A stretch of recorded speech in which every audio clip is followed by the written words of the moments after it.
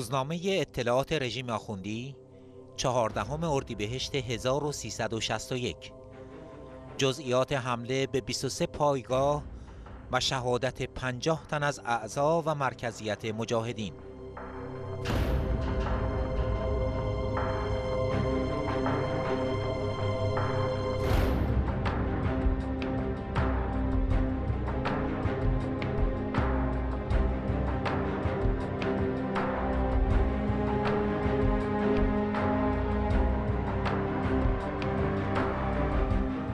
روزنامه اطلاعات آخوندی چهاردهم اردیبهشت 1361 صفحه دوم.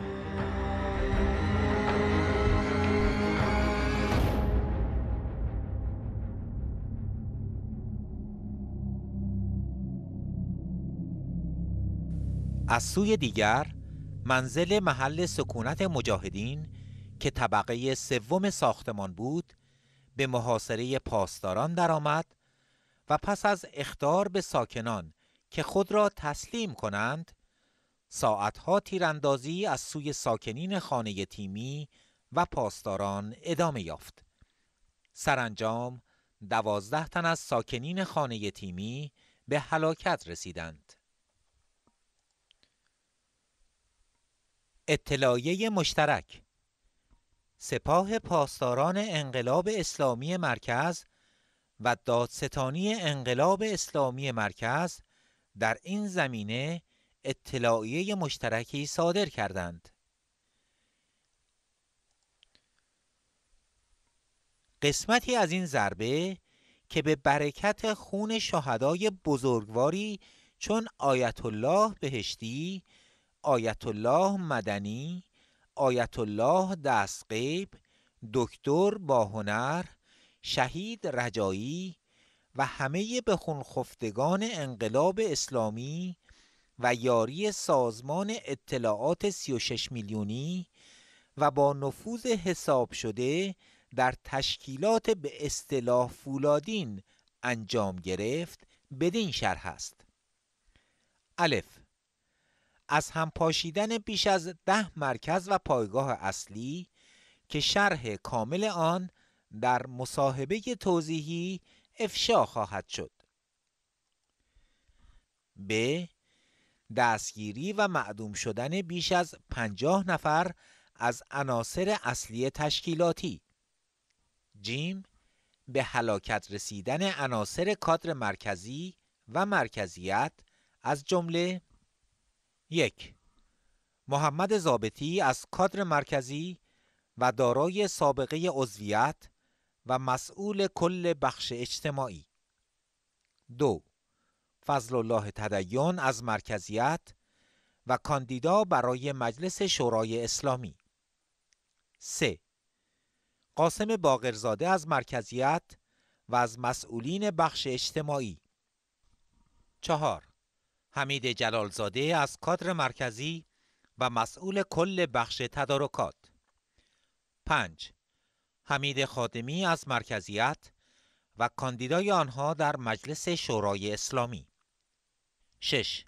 حسن صادق از اعضای درجه یک و مرکزیت نهاد 7. فرشته اسدی عضو فعال و از مسئولین نهاد و همسر حمید خادمی 8. نصرت رمزانی عضو فعال و همسر محمد زابطی از کادر مرکزی سازمان. 9. پری یوسفی عضو فعال و همسر باقرزاده از مرکزیت. 10. حسن رحیمی از مسئولین نهاد و عضو درجه یک. اطلاعات بعدی متعاقبا برای اطلاع امت حزب الله افشا خواهد شد. عملیات ضربتی. بر اساس گزارش خبرنگار ما به نقل از یک مقام آگاه در روابط عمومی منطقه ده کشور همزمان با کشف مخفیگاه کادر مرکزیت در فرمانیه شمیران بیش از ده خانه تیمی دیگر نیز طی چند درگیری مسلحانه به تصرف پاسداران درآمد. این مقام توضیح داد که با همیاری سازمان اطلاعاتی 36 میلیونی و برادران دادستانی و سپاه پاسداران ساعت دو بعد از ظهر روز یکشنبه طی یک عملیات ضربتی بیش از ده خانه تیمی کشف و به تصرف پاسداران درآمد. وی اضافه کرد برادران دادستانی و سپاه پاسداران هنگامی که مخفیگاه کادر مرکزیت را در فرمانیه به محاصره خود درآوردند ناگهان ساکنین منزل با اسلحه های یوزی و جسه به سوی پاسداران رگبار گشودند که متقابلا پاسداران نیز به سوی آنها تیراندازی کردند. این مقام همچنین گفت پس از هشت ساعت درگیری مسلحانه سرانجام دوازده تن از اعضای فعال و کادر مرکزیت به هلاکت رسیدند. همزمان با این عملیات یک خانه تیمی دیگر در خیابان 20 متری جی توسط برادران پاسدار محاصره شد و طی یک درگیری چهار نفر به هلاکت رسیدند و دو نفر دستگیر شدند. در خیابان ستارخان نیز یک خانه تیمی متعلق به شاخه نظامی محاصره شد و طی یک درگیری مسلحانه نه نفر کشته و یک زن و یک مرد و یک کودک مجروح شدند. در یک خانه تیمی دیگر واقع در خیابان شهید عراقی یک کودک مجروح و یک مجاهد دستگیر شد. یک خانه تیمی نیز در خیابان آزادی کشف شد که طی یک درگیری مسلحانه یکی از اعضای فعال در این خانه دستگیر شد. میدان رسالت طی درگیری مسلحانه یک مهاجم به هلاکت رسید و دو مهاجم دیگر دستگیر شدند. در یک خانه تیمی که در 21 متری جی قرار دارد طی یک درگیری مسلحانه دو نفر از اعضای فعال شاخی نظامی به هلاکت رسیدند. در نارمک نیز یک نفر از اعضای فعال کشته شد. همچنین یک خانه تیمی در منظری کشف و در یک درگیری که بین مهاجمین تروریست و پاسداران رخ داد چهار تن از اعضای فعال به هلاکت رسیدند و چندین نفر نیز دستگیر شدند. از خانه های تیمی کشف شده تعداد زیادی اسلحه و مهمات از جمله ژسه، یوزی، کلاشینکوف، کولت، نارنجک، بمب پلاستیکی، بمب دستساز، سلاحی، فشنگ، کوکتل مولوتوف، آرپیجی هفت و مقدار زیادی اسناد و مدارک درونگروهی سازمان و نشریات ضاله به دست پاسداران افتاد. ضمناً چندین دستگاه وسایل مخابراتی نظیر بیسیم گیرنده رادیو و غیره به قنیمت گرفته شد. مطلب قابل توجه این که مهاجمین در خانه های تیمی آزوقه یک سال خود را تهیه کرده و در فریزرها انبار کرده بودند.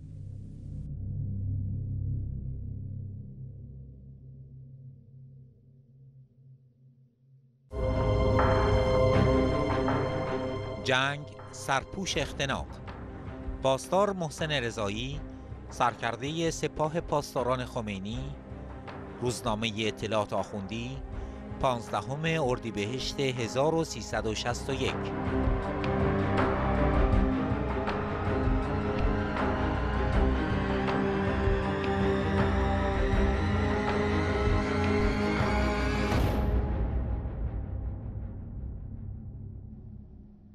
اظهارات فرمانده سپاه درباره ادامه عملیات بیت المقدس و دستگیری گسترده مجاهدین. اهواز محسن رضایی فرمانده کل سپاه پاسداران انقلاب اسلامی. وی ابتدا با درود بر امام و امت قهرمان گفت عملیات بیت المقدس را که به امید آزادسازی قدس آغاز کردیم بایستی در چند مرحله انجام گیرد. معمولا عملیات ما دارای مراحل متعددی بوده است. و بعضا بین این مراحل زمانها یا فاصله های زیادی به وجود می آید که این فاصله زمانی به منظور برنامه ریزی و طراحی بهتر و دریافت موقعیت بیشتر در عملیات امری طبیعی و یکی از مسائل اصولی نظامی است که در تمام دنیا مرسوم است. برادر رضایی در مورد عملیات اخیر برادران پاسدار گفت اولین ضربه ای که به مجاهدین وارد شد ضربه ای بود که خیابانی قائم مقام رجوی در جریان آن از بین رفت و به دلیل اهمیت سیاسی که داشت جالب توجه بود. برادر رضایی افزود در عملیات اخیر که توسط برادران ما انجام شد سه یا چهار برابر بیشتر از ضربه قبلی اهمیت دارد. زیرا در این عملیات ضربه اصلی بر کادر مرکزی و قسمت‌های تدارکاتی مجاهدین وارد شد. در این عملیات که با موفقیت انجام شد افرادی نظیر محمد زابطی معاون ابریشمچی و یکی از پنج یا شش نفر از به اصطلاح شورای رهبری بود و در حال حاضر به اصطلاح قائم مقام رجوی در داخل کشور به حساب می آمد و چند تن دیگر از افراد کادر مرکزی از جمله حمید جلالزاده مسئول تدارکات قاسم باقرزاده حمید خادمی و حسن صادق مسئول غرب کشور حسین جلیلی مسئول جنوب و بقیه نظیر فضل الله تدین از افراد مرکزیت بودند. در مجموع نزدیک به 60 نفر از افراد درجه یک از رهبری تا شورای مرکزی یا کشته و یا دستگیر شدند. برادر رضایی ادامه داد قرار بود پس از ضربه‌ای که بعد از قتل خیابانی بر آنان وارد شده دست به یک سری انفجارات سراسری بزنند.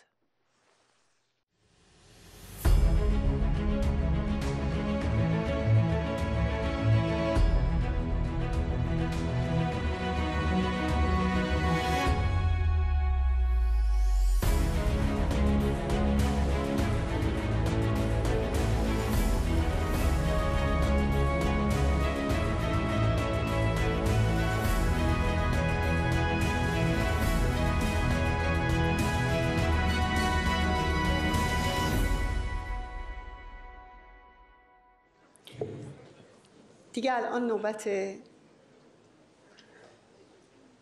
سایر خواهران و برادران یکم از دوازده اردیبهشت برای ما بگن. خواهران مجددا سلام می‌کنم.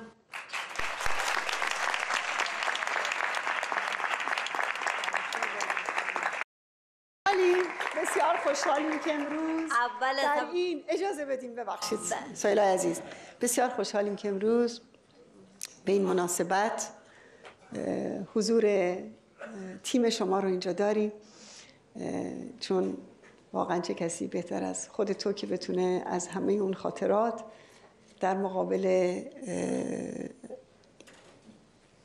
خونریزی ها و اون همه قصاوت دو رژیم برای ما صحبت کنه به خصوص از این مجاهدین که می‌دونم از همه اون خاطر زیاد دارید. بنابراین خوش آمدید و بسیار خوشحالیم. بفرمایید.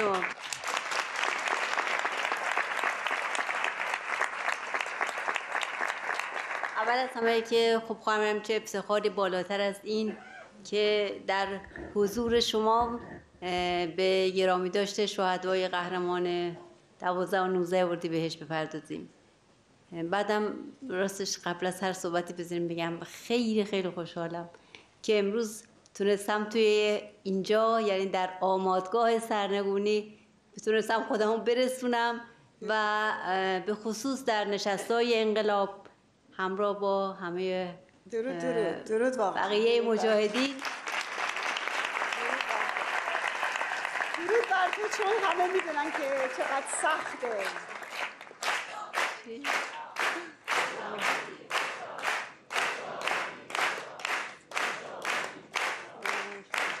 همه می‌دونن چقدر سخته برای تو این نقل و انتقالات ولی این همه انگیزه برای این رسوندن خودت به جمع مجاهدین واقعا تحسین برانگیزه. درود خواهم در مورد شهدای 12 اردیبهشت همونطور که خب خودتون گفتین از اونجایی که خود منم از اول فاز سیاسی تا آخرش توی بخش اجتماعی بودم تقریبا این روزا که شبا که سیما آزادی رو نگاه می‌کردم کمتر کسی بود که ازش نشناسم و یا خاطری نداشته باشم.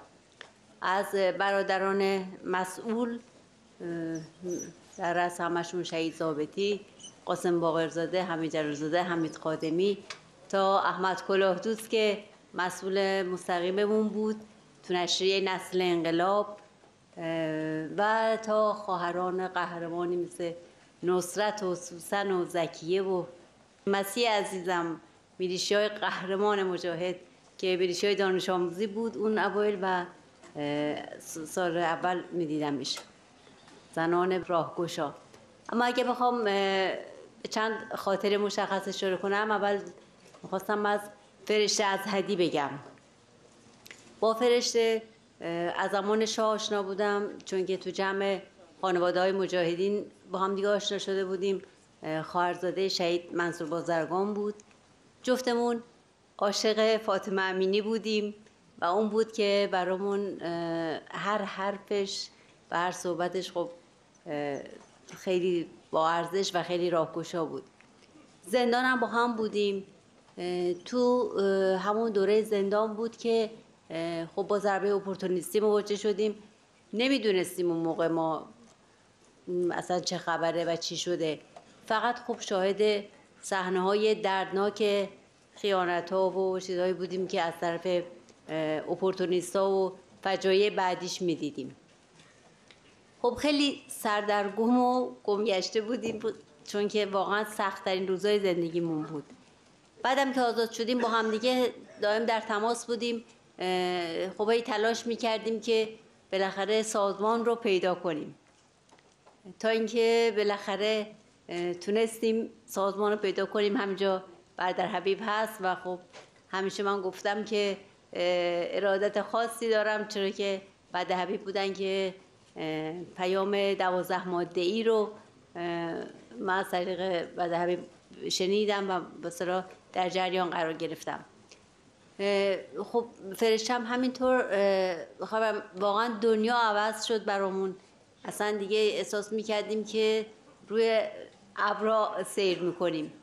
یادمه که با هم صحبت می‌کردیم واقعا از ته دل آرزو می‌کردیم که کاش دوباره زندان بریم دوباره دستگیرمون کنن تا بتونیم خلاصه یه پیکی باشیم که این پیام دوازده ماده ای رو به بچه ها برسونیم. خب اون موقع تا وقتی که ما بودیم زندان زنان در ارتباط با اون زندان نبود و در جریان به صلاح بحثای اپورتونیستی نبودن.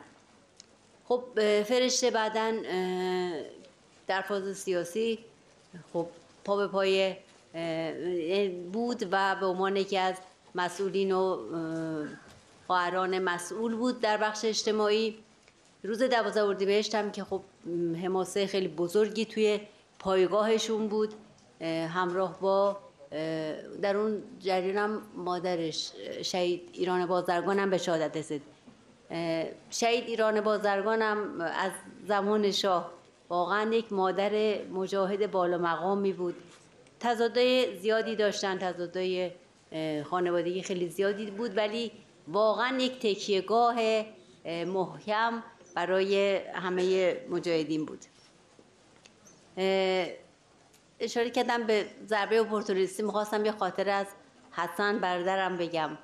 روزی که توی کمیته دیدمش می‌دونستم حسن دستگیر شده خیلی شکنجه شده. یک علامت سوال بزرگی تو ذهن من بود که خب چرا مونده تا دستگیر بشه؟ چون خب مشخص بود دستگیر میشه. خیلی اصلا این سوال شبانه روز تو ذهنم بود و همش دنبال این بودم که حسن رو ببینم بپرسم. بالاخره یه روز اتاق اواخر تابستون 54 بود که تو اتاق بازجویی دیدمش. توی فاصله کوتاهی که چند دقیقه تونستیم با هم صحبت کنیم بلا فاصله ازش پرسیدم. خودم حسن چرا دستگیر شدی؟ چرا موندی؟ بعد با یه نگاه دردناکی گفتش که کجا می‌رفتم. خودم خب پیش بچه ها من اصلا نمی‌دونستم اون موقع ضربه اپورتونیستی شده. هست. فقط فکر می‌کردم خب یک سری ضربات نظامی سازمان خورده برای سازمان هست. گفتم خب پیش بچه ها بعد همینجوری نگاه من کرد و گفتش که وقتی تو ماشین ساواک نشستم گفتم الحمدلله میرم زندان پیش بچه ها من دیگه اصلا دنیا رو سرم خراب شد نمی‌دونستم داستان چیه. حال بعدها گذشت و گذشت. برادرای دیگهمون علی خدایی هستن نظام علی قادری خیلی ها هستن که با هم دیگه اون روزا رو طی کردن. بالاخره من دیگه آزاد شده بودم می‌رفتم ملاقات حسن. تا اینکه شهید سعادتی رفت زندان قصر و کمون مجاهدین مجدد تشکیل شد. اصلا باور کنین حسن یک دفعه انگار که از این رو به اون رو و یک از یه آدم خمیده تبدیل شد به کسی که دیگه شب و روز نمیشه و خیلی اصلا سرحال شده بود. بعد از اون خیلی جالب بود خانم هر وقت می‌رفتیم ملاقات فقط حسن میمد تون تون یک سری دستور عمل می‌داد. میری این کارو می‌کنی با فلانی صحبت رو می‌کنی اونجوری می‌کنی اینطور می‌کنی. بعد گزارش کارهایی رو که دفعه قبل گفته بود می‌گرفت. بعدم می‌گفت خب من وقت ندارم دیگه. یه خدافزی می‌کرد و میرم چون انقدر مجاهدین کار داشتن تو زندان که اصلا به هیچ چیز دیگه نمی‌رسیدن. بعد هم که تو فاز سیاسی حسن از مسئولین بخش اجتماعی بود. تو بخش توی نهاد محلات و تو جریان اون درگیری هم خب درگیری خیابون ستارخان می‌دونم که خیلی تاثیرات اجتماعی گسترده داشت. من بعدا از یکی از بچه ها شنیدم بچه ها خاطراتشون رو بر من می‌گفتن از چیزایی که شنیده بودن از دوازده اردیبهشت شنیده بودم که یکی از بچه ها تعریف کرد از اهل محل شنیده بوده که پیکر دو حسن در راه بله افتاده بوده. یعنی معلوم بوده که اینها تا آخرین گلوله جنگیدن و به اصطلاح در جریان جنگ تن به تن بالاخره به شهادت رسیده بودن. شهید دیگه که می‌خواستم بهش اشاره کنم شهید مهری خانبانی بود که اونم از همون اوایل فاز سیاسی با هم بودیم. آموزش های 36 سوال رو با هم دیگه گذروندیم. خب یکی از شاهکارهای سازمان در بخش اجتماعی آموزش گسترده میلیشیا بود. چیزی که خب اصلا خیلی عظیم بود. یادش بخیر شهید فاضل مسلحتی مسئول آموزش بخش اجتماعی و به خود نهاد ما بود. اینطوری بود خواهم که صبح مثلا فرض کنید ده تا دوازده ما باش کلاس داشتیم. کلاس فرض کنید نهج البلاغه یا تاریخچه سازمان یا هر چی. و بعد ما بعد, بعد از ظهر می‌رفتیم تو بعد از تعطیلی مدرسه ها تو کلاس هایی که تشکیل می‌شد برای میلیشی های دانش آموزی عینا همون رو درس بدیم و بعدم خب دقیق حسابرسی می‌شد که تا همونجا رو پیش رفتیم.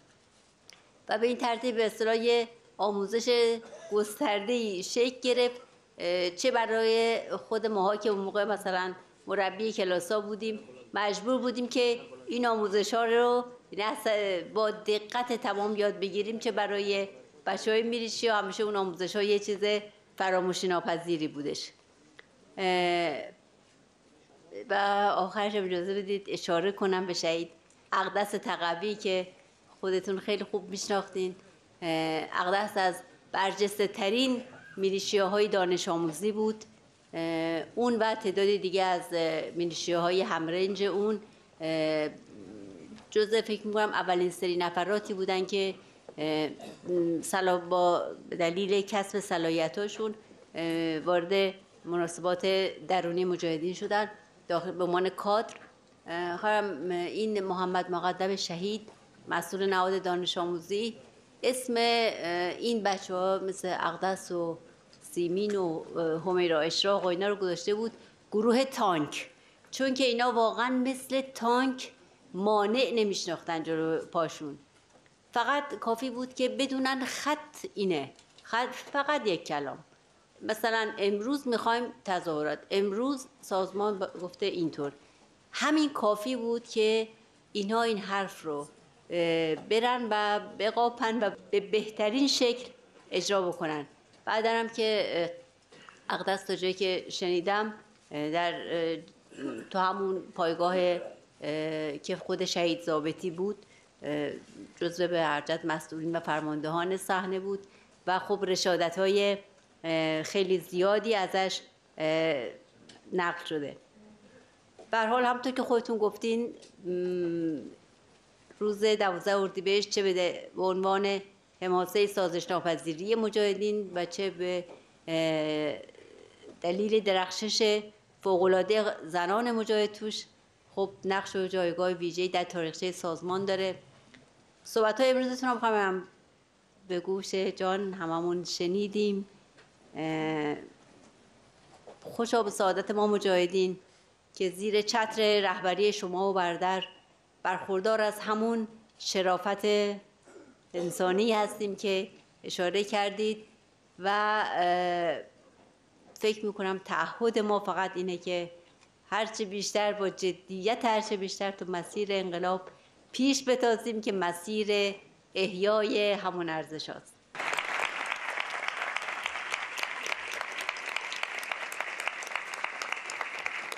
ما که سیر نمیشیم انقدر سهیلا خاطره داره از دو نظام و از همه مجاهدین که هرچی هم بگه به خصوص با این بیان شیوا برای ما کمه ولی با تشکر زیاد از یکی که شهدا که اسم بردی. ما من دارم جلو خودمو می‌گیرم که صحبت نکنم در مورد هر کدومشون. با تشکر. مرسی. در رابطه با دوازده اردیبهشت خواهر مریم الان شما خودتون گفتید یکی دیگه از ارزش ها ارزش شهدا و ارزش همین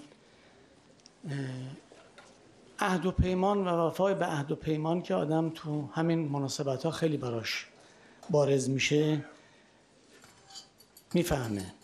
همین دیروز و پریروز که مناسبت دوازده اردیبهشت بود هم خودم هم همه بچه ها بلا استثنا از اینکه درک و دریافت جدیدی دیگه ای انگار فروزانتر و درخشانتر شهدا رو می‌بینند و می‌فهمند می‌گفتند.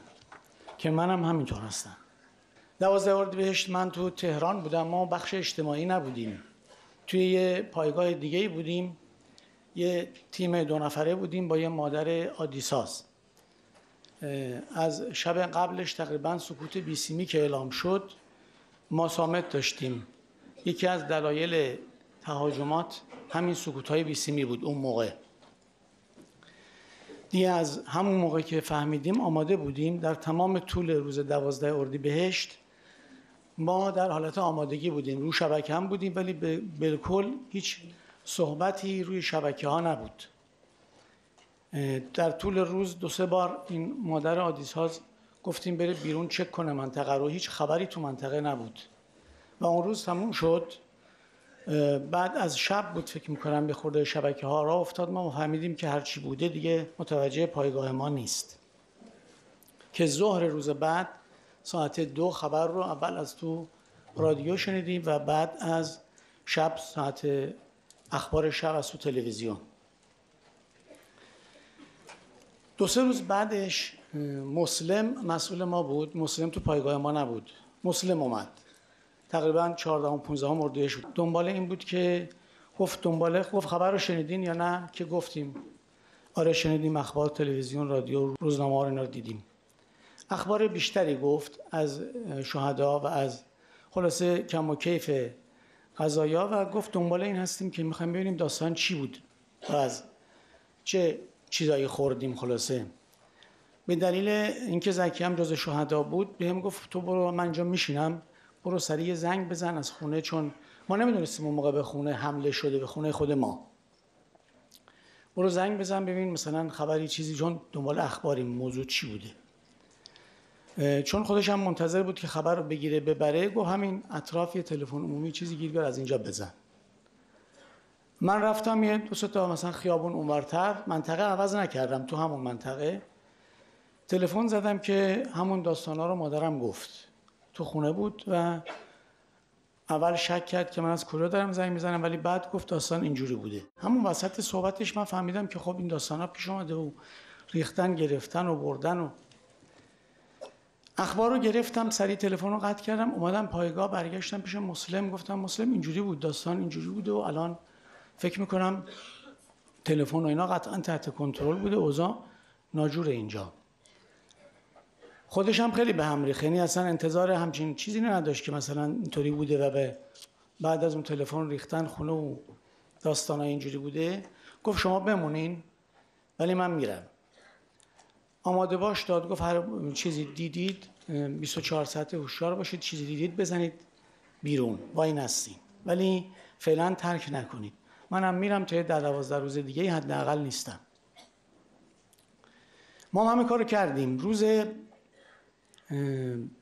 بعد بعد از همین تماس روز بعدش.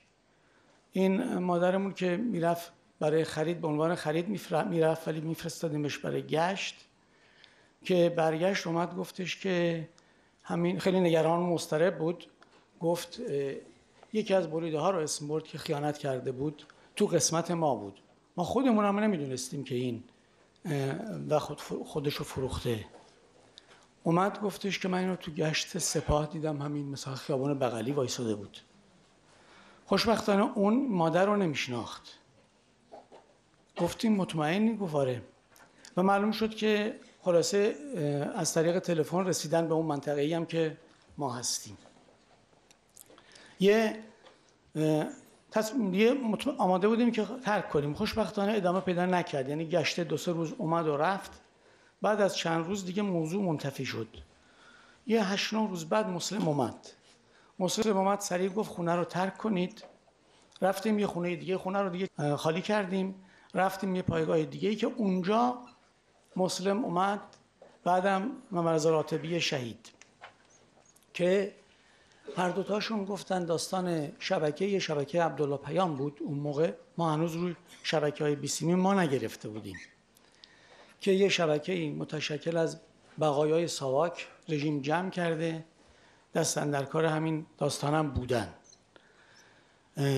دیگه روی شبکه ها و شنود و بیسیم و اینا هم ما اولا یه رو متمرکز شده بودیم روی این شبکه چون گرفته بودیم مثل پیام های مشکوک و اینا عبدالله پیام بود که بعدها توی داستان ده مردادم همین شبکه بیشترین نقش و تاثیر رو تو ردیابی و تعقیب مراقبت و اینا داشت. بعد از ضربه ده مرداد من دیگه قطع شدم ولی سامت هم رو داشتم. یکی از چیزهایی که همراه هم بود سامت بود. اخبار رو که رو سامت دنبال می‌کردیم یادم هستش که تو شهریور یا مهر سال 61 بود که بچه ها حمله کردن به چند تا از مراکز همین شبکه. چند تا پایگاه داشتن که من خبرش از روی شبکه های بیسیمی اون موقع همون شبکه هایی که بود شنیدم. طرف میگفتش که کشتی سوخت کشتی سوخت دیگه اینجا نیین کشتی کد یکی از مراکز هدایت و فرماندهیشون بود. گفت کشتی سوخت مراجعه نکنید کسی نیاد فلان. و این شبکه خلاصه اون سال بچه های عملیاتی حمله کردن و ضربه زدن. من گفتم این خاطره رو از داستان دوازده بهش داشتم بگم. خیلی ممنون. همون روز دوازده اردی بهشت حوالی نزدیک های ظهر بود قبل از ظهر بود ظاهرا. زکیه زنگ زده بود به خونه که مادرم گوشی رو برداشته بود و دیده بود که علاوه بر صدای زکیه خب سر صدای خیلی هم همه و سر صدای شلیک و اینا هست. پرسیده بود چه خبره کجایی؟ که زکیه گفته بود زیاد ادامه نده سریع فقط یه قلم و کاغذی چیزی اگه ادامه دستت هست بردار من می‌خوام یه چیزایی بگم بنویسی. که سریع برداشته بود یه قلم و کاغذی و بعد زکیه گفته بود که به پایگاه ما حمله شده.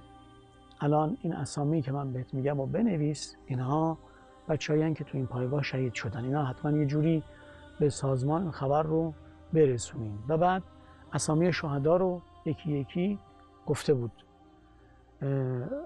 خودم یادم نیست الان چند تا رو ولی فکر می‌کنم ده یازده تا اسم رو گفته بود.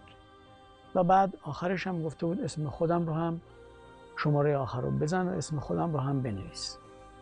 که مادرم اونجا در واقع حالش به هم خورده بود و دیگه نتونسته بود نگه داره. برادرم که از طبقه بالاتر گوشی رو برداشته بود اون به گوش بود که می‌گفت یه زکیه گوشی رو قطع کرد.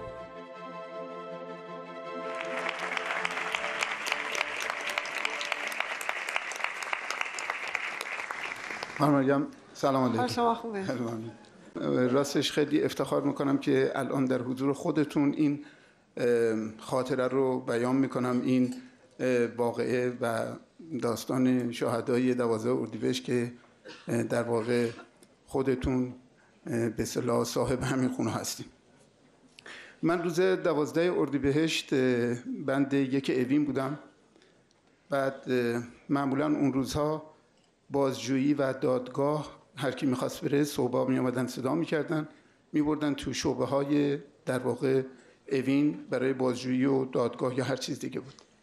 اون روزم همه به صلاح نفرات صدا کردن بردن.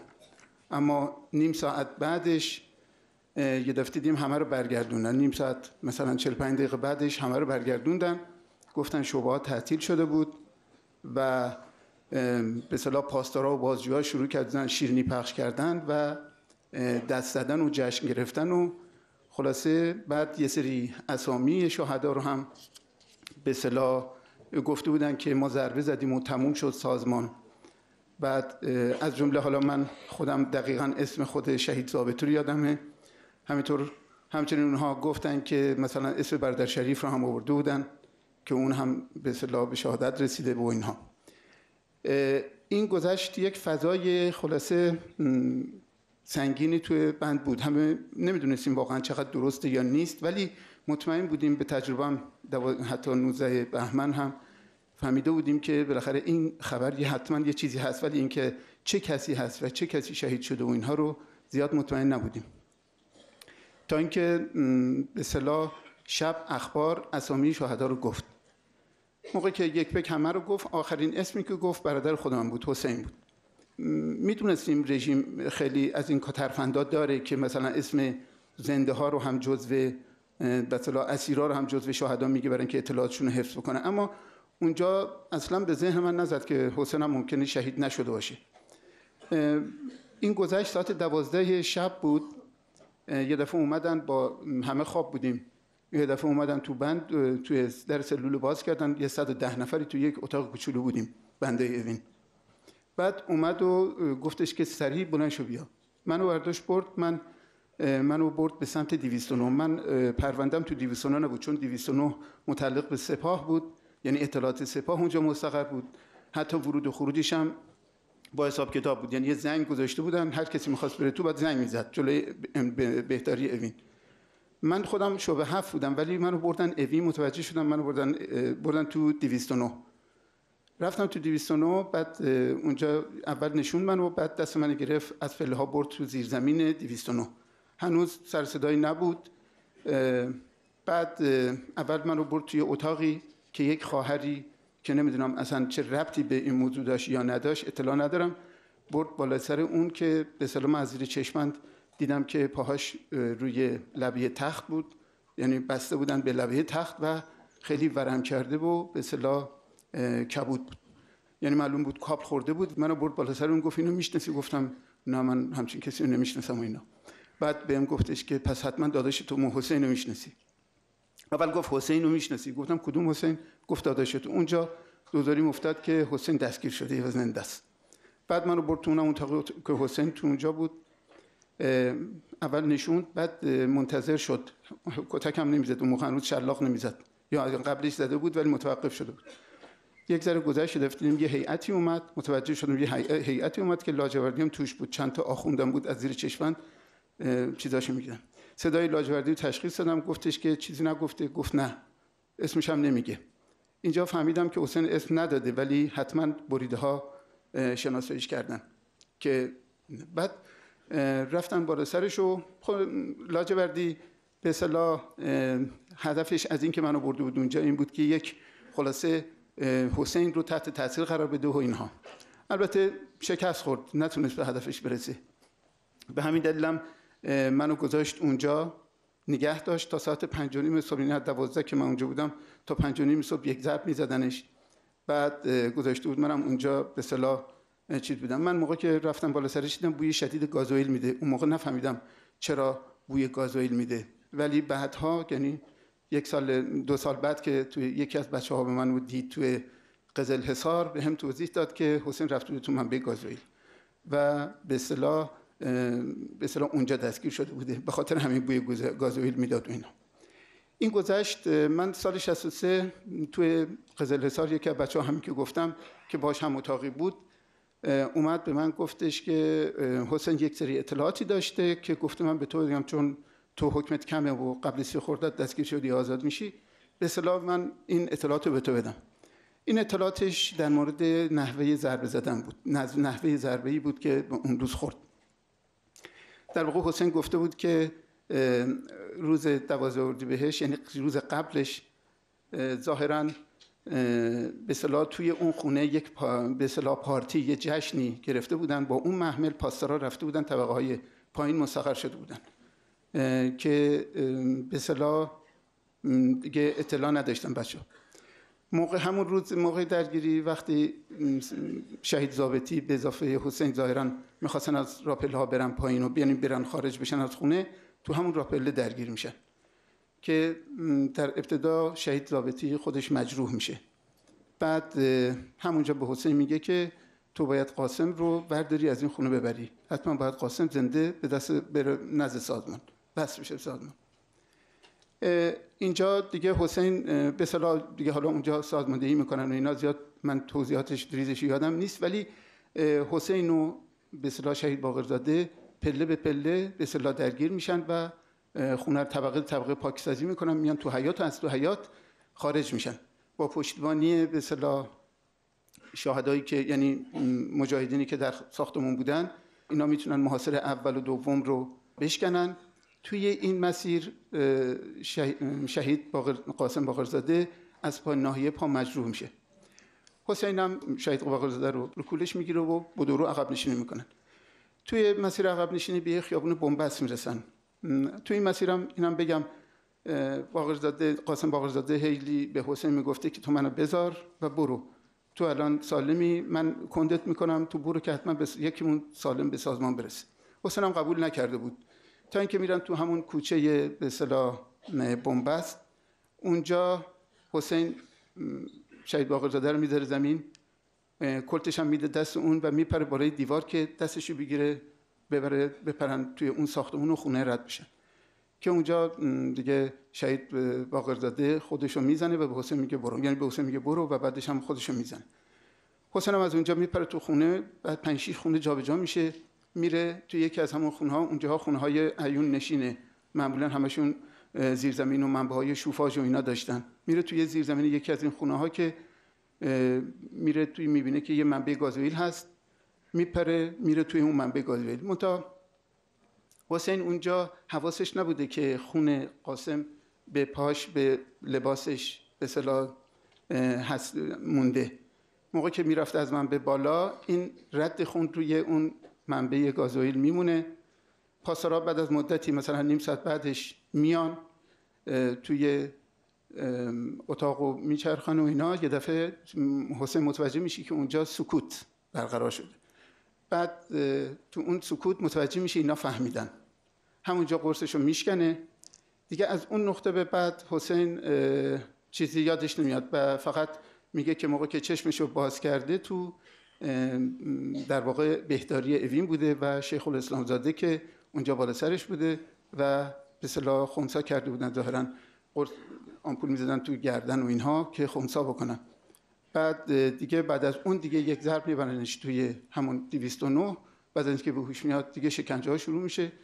اون روز من تا پنج و نیم صبح شاهد این شکنجه ها بودم و یک بندم ادامه داشت. فقط ساعت پنج و نیم دیگه خیلی تحت فشار بودم و با فشار و اعتراض و سر صدا دیگه منو بردم بالا. رفتم بالا دیدم که این خائنین اونجا بودن همونایی که شناسایی کرده بودن. اونم البته چشمند داشتن تو 209 اینا چون همشون مورد دادستانی بودن ولی اومده بودن اونجا برای شناسایی. بعد که بعد اونجا دیدمشون بعدش هم که رفتم از در می‌رفتم بیرون از زیر چشمند پیکر شهدا رو یعنی خونی که روی راه رو ریخته بود و اینها رو می‌دیدم. پاسدار من گفت می‌خوای ببینی من؟ گفتم نه نمی‌خوام ببینم سریعتر من اینجا ببر اینها. که بعد رفتم تو بندو و این ماجرایی بود که در واقع حسین به بچه ها گفته بود که اینو بدن که بعدم که اومدم اولین کارم این بود که این گزارش رو به سازمان بدم. واقعیتش اینه که من خودم اون روز خیلی اگرچه خیلی شرایط اونجا برام سخت بود تو اون زیرزمین اما یک چیزی همیشه تو وجودم همیشه خیلی کمک کرد. همون داستانی بود که پاستوره گفت این حتی اسمش هم نداده. من اون موقع راستش نمیفهمیدم که چرا اسمشو نمیده. خب دیگه بالاخره می‌دونن دیگه. منو برداشتن آوردن بالا سرش. یعنی حتما میشناختنش. ولی فهمیدم که اون می‌خواست هیچ شکافی واقعیتش برای دشمن باقی نذاره و همینطور هم شد. تا آخرش هم اول اسفندم که اعدام شد. این خاطر.